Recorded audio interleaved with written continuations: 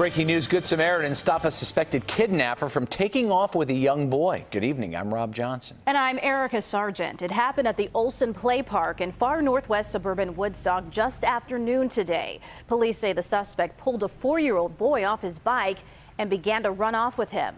The boy and his friend started screaming, which caught the attention of a neighbor and two workers who were driving by.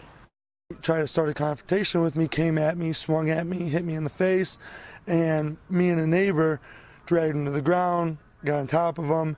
My colleague Johnny got out of the car, got on his other arm, we pinned him down to the ground. As soon as he went to swing on Sean, I hopped out of the van, and the one neighbor was there, and they got him to the ground, and us three held him down until cops arrived. 39 year old Kevin Sorensen, a convicted child sex offender, is charged with aggravated kidnapping, among other charges, and is in the McHenry County Jail.